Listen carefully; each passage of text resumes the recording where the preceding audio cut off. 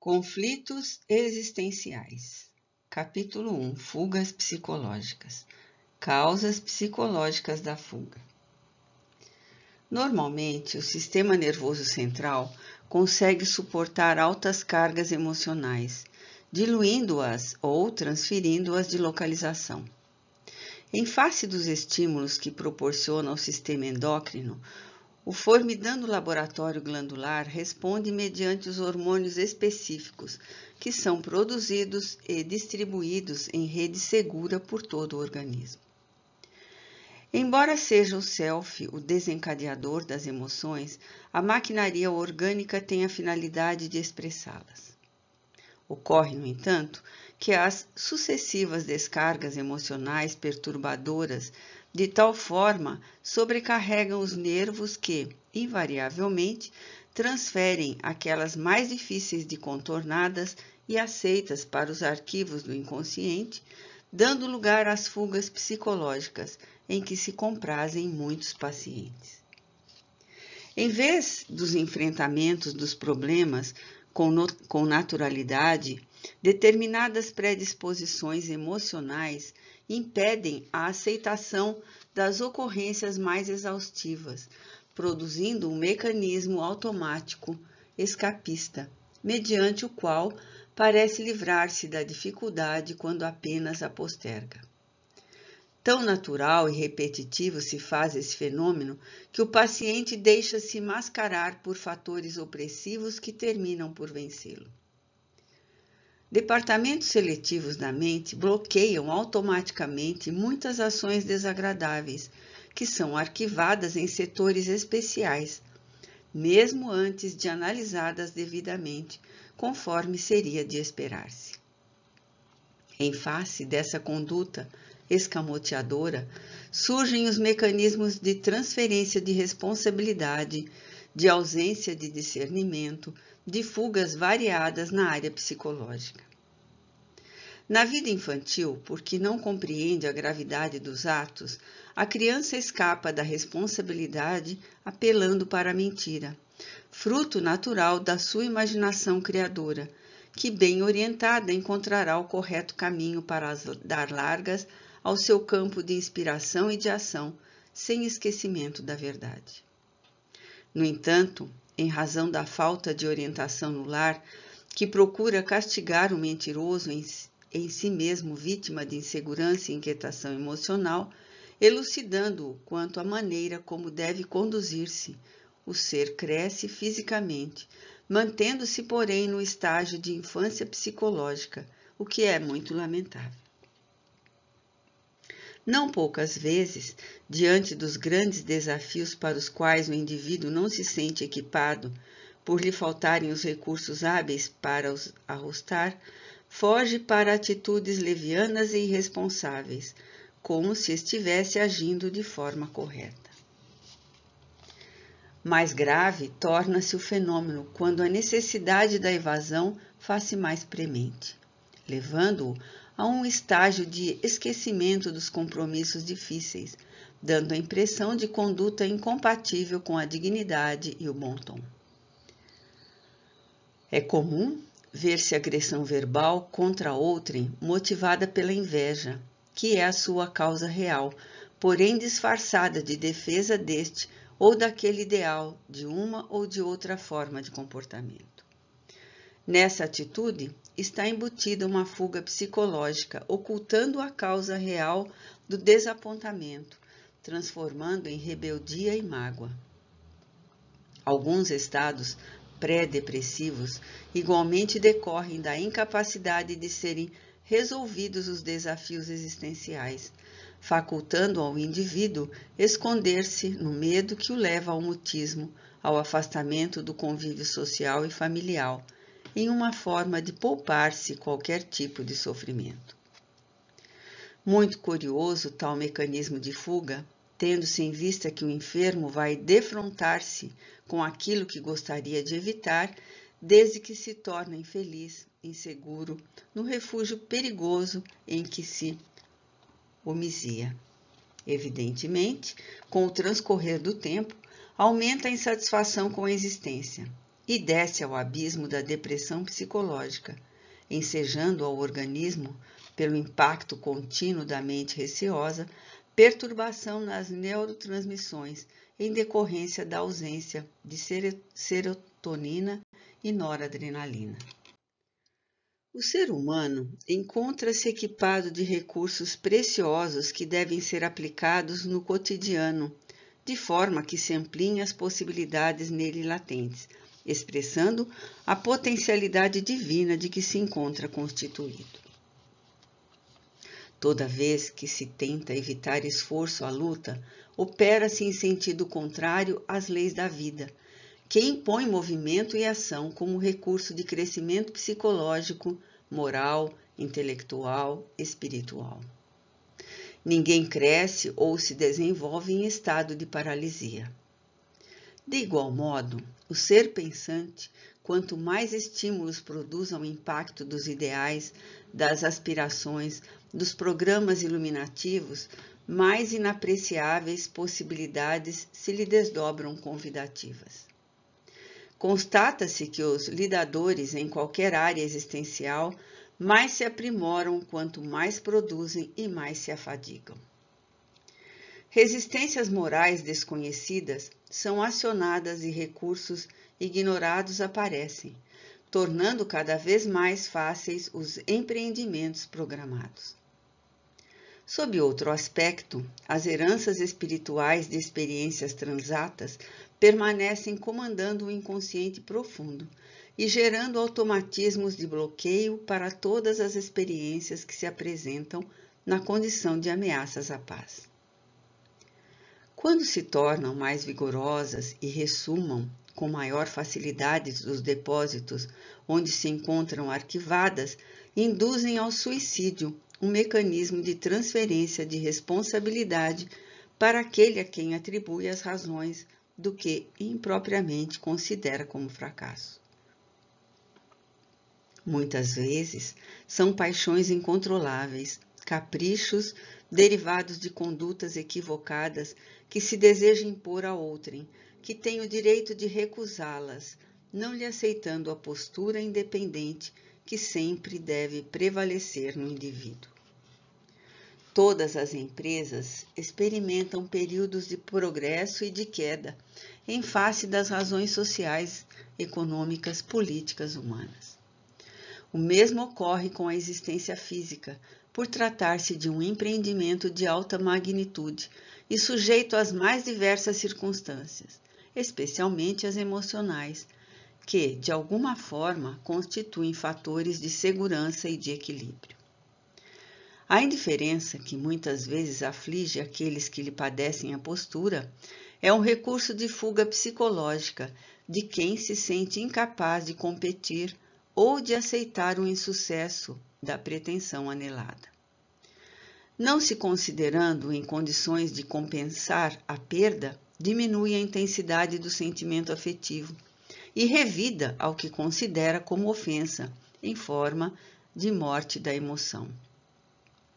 É normal que ocorram algumas fugas psicológicas no dia a dia da existência humana, em forma de recurso neutralizador do excessivo volume de informações que bombardeiam o indivíduo, através dos diversos veículos de comunicação de massa, das conversações raramente edificantes, das convivências enfermiças.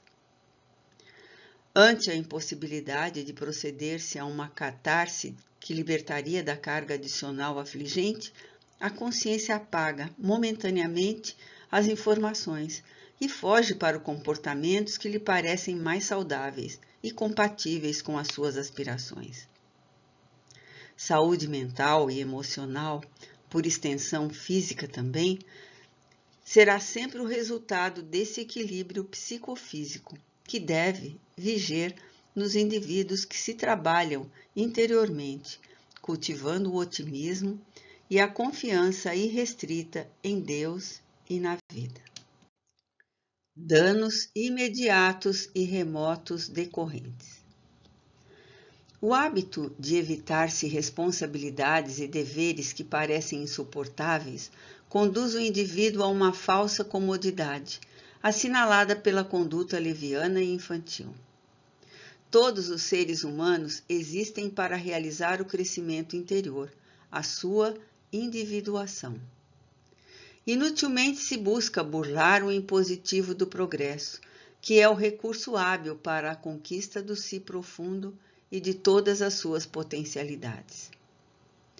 Quando, por uma ou outra razão, resolve-se pela acomodação ao já feito, ao já conhecido, deperece-se a energia vitalizadora e empobrece-se a existência que tem por finalidade precípua o enriquecimento pela sabedoria.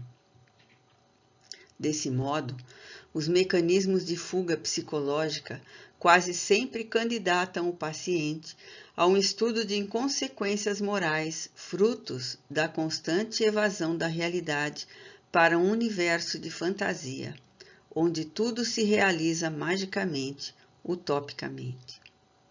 Essa imaturidade emocional faz que se perca o interesse pelos nobres ideais, aqueles que exigem postura adequada e luta contínua, não dando abrigo a comportamentos alienantes ou desculpistas.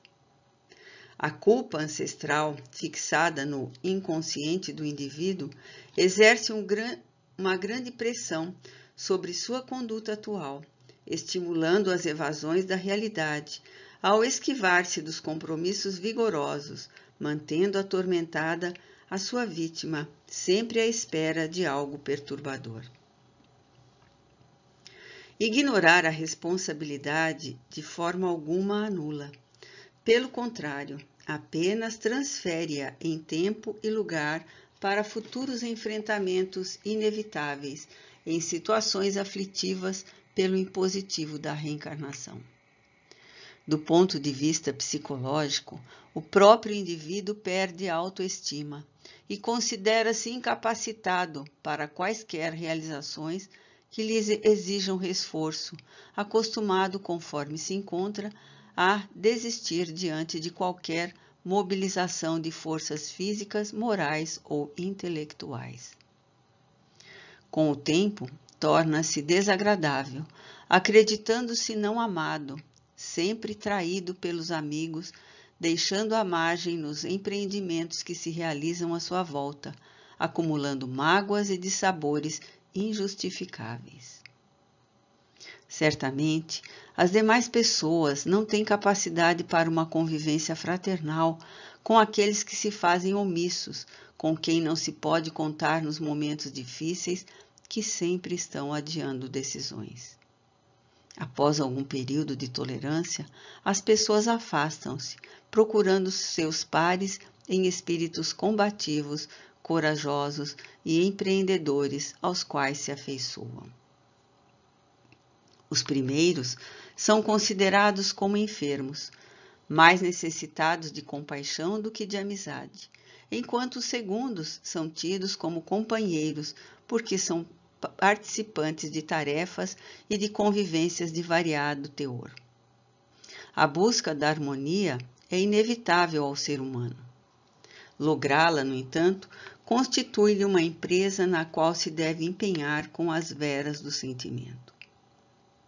Sabendo-se que trata de um logro de largo porte, o empenho de forças e de emoções constitui, sem dúvida, um fenômeno natural que não pode ser considerado como sacrifício. Todo herói, mesmo quando tomba no campo de batalha, em realidade não deve ser categorizado como vitimado pelo sacrifício. O seu gesto de doar a existência é-lhe motivo de alegria, de confirmação da nobreza do ideal que vibra em seu mundo íntimo. Conta-se que Solon, o maior sábio da Grécia no seu tempo, em um banquete que lhe foi oferecido pelo rei Creso em Sardes, capital da Lídia, teria sido interrogado pelo monarca, tido como o homem mais rico do mundo naquela ocasião, para que informasse quem, na sua opinião de viajante ilustre, seria a pessoa mais feliz da Terra. Sem perturbar-se, o pensador, após ter estado na sala dos tesouros reais, referiu-se que houvera conhecido em Atenas um jovem de nome Telos, que após cuidar da genitora enferma, acompanhando-o até a morte, entregou o restante da existência à defesa da sua cidade. Algo frustrado, o rei vaidoso retornou à carga, indagando-lhe então quem seria a segunda pessoa mais feliz do planeta, recebendo outra resposta desanimadora, quando foi afirmado por Solon que ele houvera conhecido dois jovens, em Atenas, cuja existência fora notabilizada pela elevação moral e pela grandeza de sentimentos que se imolaram para defender a cidade. Sentindo-se subestimado, o rei Creso, que confundia poder com harmonia interna, propiciadora de felicidade, não escondeu a desconsideração com que passou a tratar o convidado.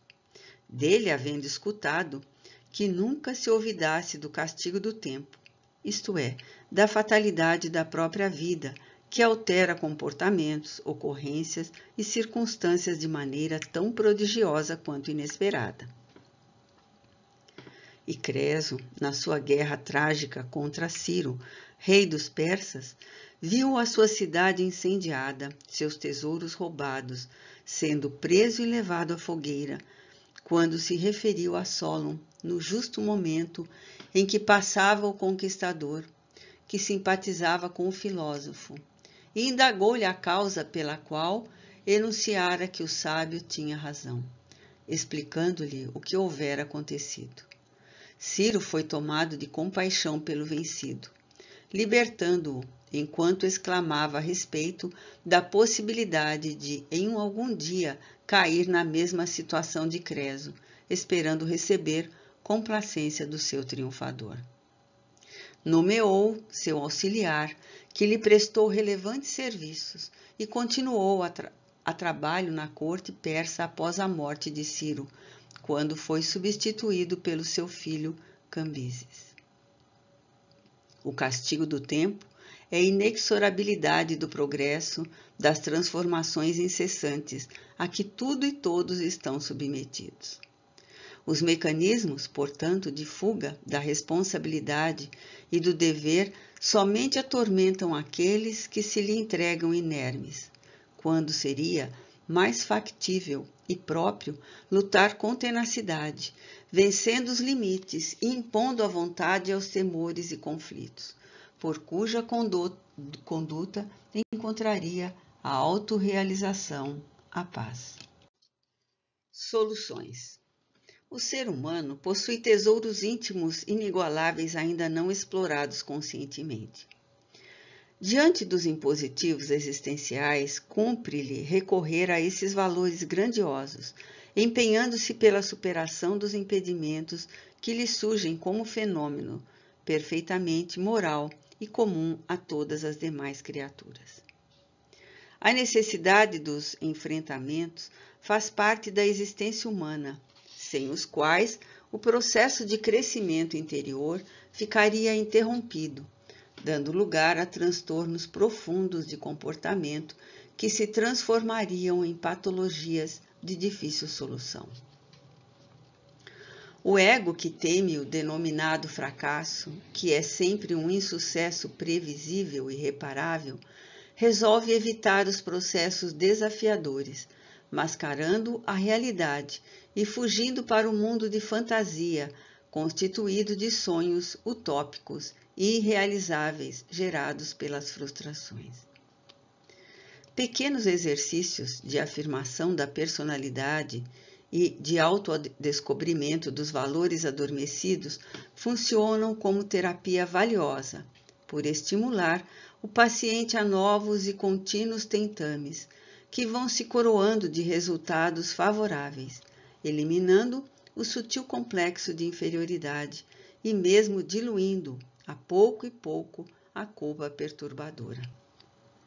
Cada vitória, por mais insignificante que se apresente, serve de base para futuros cometimentos que facultarão a autoconfiança, o reconhecimento das potencialidades ignoradas que respondem pelas forças morais de que é possuidor o self. Quanto mais se transfere o encontro com a realidade elaborada pelo eu consciente atual, mais difícil torna-se a construção da identidade pessoal, que se apresenta como destituída de significados elevados, ocultando as imperfeições que, afinal, fazem parte de todo o processo evolutivo. À medida que se alcançam patamares mais elevados, outros surgem convidativos, demonstrando que não existe pouso definitivo para quem deseja plenitude, sem novas metas a serem conquistadas. Adicionando-se realizações umas sobre as outras, ocorrerá um somatório de experiências que impulsionam o indivíduo com segurança no rumo certo da realidade. Ninguém atinge o acume de um monte sem haver superado as dificuldades iniciais das baixadas. Vencida uma etapa, mais fácil torna-se o avanço na direção de outra, até ser conseguido o objetivo buscado. A verdadeira saúde psicológica não anui com precipitação, nem com o destemor, que pode parecer heroísmo. Quase todos os triunfadores viveram momentos de medo e de perplexidade antes de alcançarem o êxito que ora coroa suas existências. Nesse sentido, a prática das boas ações oferece encorajamento para realizações mais amplas nos relacionamentos interpessoais, na convivência social e no amadurecimento da realidade pessoal. Sempre quando alguém se predispõe a auxiliar, experimenta forte empatia, que resulta de contínuas descargas de adrenalina estimuladora, que encoraja para novas realizações e bloqueia os temores infundados. Quando surge essa disposição real para superar as fugas psicológicas, conscientes ou não, automaticamente desenvolvem seus sentimentos íntimos, proporcionando bem-estar e alegria de viver. Torna-se um tormento a manutenção das fugas emocionais, o escamoteamento da própria realidade, mascarando o ser de júbilos que não existem e de satisfações que são irreais. Assumir, portanto, as próprias dificuldades constitui um dos passos necessários para superá-las. Como todos os indivíduos são seres humanos em processo de crescimento, em concerto na trajetória carnal, porque ainda portadores de imperfeições de vários tipos, a aceitação de si mesmo, conforme se encontra, é recurso valioso para a compreensão dos limites que caracterizam os demais, tornando-os tolerantes em relação às faltas alheias em face das próprias condições agora conhecidas. A culpa transforma-se em auto-perdão, o medo faz-se estímulo para o avanço contínuo e as incertezas convertem-se em convicções em torno da própria vitória, a saúde integral.